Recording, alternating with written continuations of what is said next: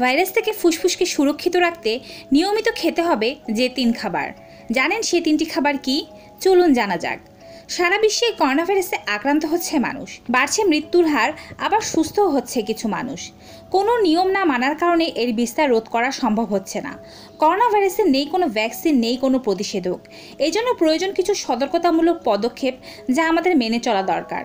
যেমন জ্বর, সর্দি, কাশি বা ফুসফুসজনিত রোগ হলে তাৎক্ষণিক হোম কোয়ারেন্টাইনে থাকতে হবে, ডাক্তারের সাথে পরামর্শ করতে হবে এবং কিছু স্বাস্থ্যকর খাবার খেতে হবে।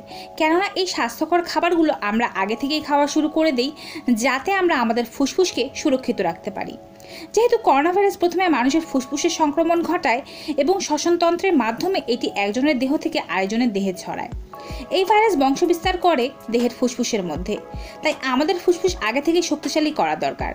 এক্ষেত্রে প্রতিদিনের ডায়েটে এমন কিছু খাবার রাখতে হবে যা ফুসফুসকে সুস্থ রাখতে সাহায্য করে এবং আমাদের রোগ প্রতিরোধ ক্ষমতা বাড়ায়। আমাদের অনিয়ন্ত্রিত জীবনযাপন, অনিয়ন্ত্রিত চলাফেরা, অনিয়ন্ত্রিত খাবার দাবার ধূমপান, মদ্যপান, আশেপাশে দূষিত বায়ু ও দূষিত পরিবেশের কারণে আমাদের ফুসফুস ধীরে ধীরে নষ্ট হয়ে যাচ্ছে। কিন্তু ফুসফুসই এমন একটা অঙ্গ যার কর্মক্ষমতা পুনরায় ফিরিয়ে আনা সম্ভব। আপনি যদি নিকোটিন খেয়ে নিজের ফুসফুসকে নষ্ট করে ফেলে থাকেন, তাহলে কিছুদিনের মাত্র নিকোটিনের পরিহারেই কিন্তু আপনার ফুসফুস আবার পুনরায় ফিরিয়ে আনা সম্ভব। তাহলে কেননা আমরা কিছু খাদ্যাভাস পরিবর্তন করে বা আমাদের খাদ্য তালিকায় কিছু খাদ্য যোগ করে ফেলি, যা নিয়মিত খাবার ফলে আমাদের ফুসফুস আবার আগের মতো সুস্থ ও সবল হয়ে যাবে, পাশাপাশি যে কোনো ধরনের ভাইরাস, ব্যাকটেরিয়া থেকে মুক্ত থাকতে পারবেন। তো চলুন আর কথা না বাড়িয়ে সে জাদুকরি তিনটি খাবার সম্পর্কে জানি।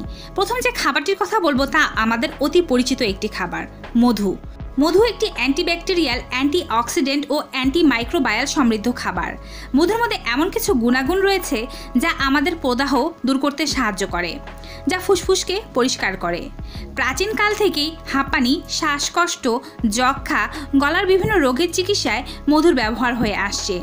প্রতিদিন এক চামচ মধু খাওয়ার অভ্যাস করে তুলতে পারলে ফুসফুসের জন্য অনেক বেশি উপকারী। মধু একটি এমন খাবার যা কখনো পচন ধরে না। ছোটবেলা থেকে অনেকেরই এক চামচ করে মধু খাওয়ার অভ্যাস।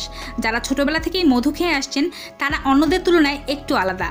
যেমন তাদের শ্বাসকষ্ট, হাঁপানি, বিভিন্ন ধরনের শ্বাসের সমস্যা গলা ব্যথা ঠান্ডা সর্দি জ্বর, এগুলো তুলনামূলকভাবে কম লাগে।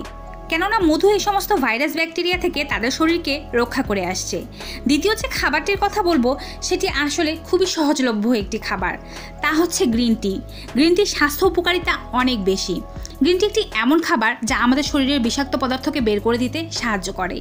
যারা মোটা হওয়ার সমস্যায় ভুগছেন, যাদের শরীরে মেটাবলিজম কম, তাদের মেটাবলিজমকে বাড়িয়ে দিতে সাহায্য করে গ্রিন টি। আপনারা হয়তো এটাও জানেন যে করোনা ভাইরাসে আক্রান্ত হয়ে মৃত্যুর সংখ্যার দিক দিয়ে স্থূল ব্যক্তিরা অনেক বেশি এগিয়ে আছেন। গ্রিন টি একটি অ্যান্টিঅক্সিডেন্ট সমৃদ্ধ খাবার। গ্রিন টি আমাদের ফুসফুসকে পরিষ্কার করতে সাহায্য করে। ফুসফুসে দীর্ঘদিন ধরে জমে থাকা বিভিন্ন ধরনের দূষিত পদার্থ বের করে দেয় গ্রিন টি। অতি সামান্য একটি খাবার কিন্তু এর গুণাগুণ অতুলনীয়। যারা নিয়মিত দুবেলা চা খাওয়ার অভ্যাস আছে, তারা এখন থেকে দুধ চা পরিহার করে নিয়মিত দুবেলা গ্রিন টি পান করবেন, সকালে ও বিকালে। খাবার এক ঘণ্টা আগে বা এক ঘণ্টা পরে। এতে করে আপনাদের শরীর অনেক বেশি চনমনে হয়ে যাবে, পাশাপাশি আপনাদের ফুসফুসও পরিষ্কার হয়ে যাবে। করোনা ভাইরাস কেন? এর চেয়েও যদি কোনো বড় ভাইরাসও আসে তাহলে আপনাকে কোনো ক্ষতি করতে পারবে না। এরপরে যে উপাদানটির কথা বলব, তা হচ্ছে আদা। আপনি কি প্রতিদিন আদা চা খান? তাহলে তো আপনি অনেকখানি এগিয়ে গিয়েছেন আপনার সুস্থতার পথে।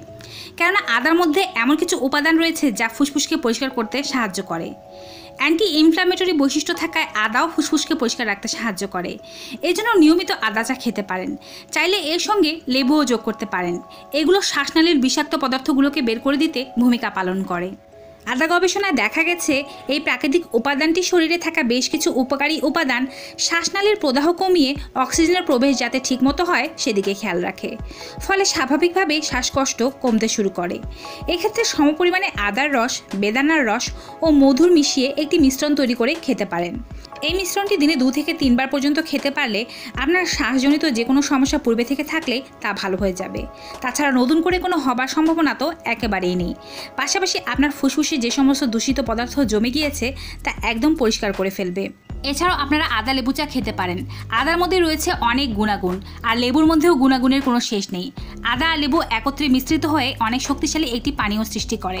নিয়মিত আদা লেবু পানি খেয়ে দেখুন আপনার শরীরের কত বেশি উপকার তো ভিউয়ার্স নিজের ফুসফুসকে বাঁচাতে ও ভাইরাস মুক্ত করতে এখন থেকে এই তিনটি খাবার খাওয়া শুরু করে দিন।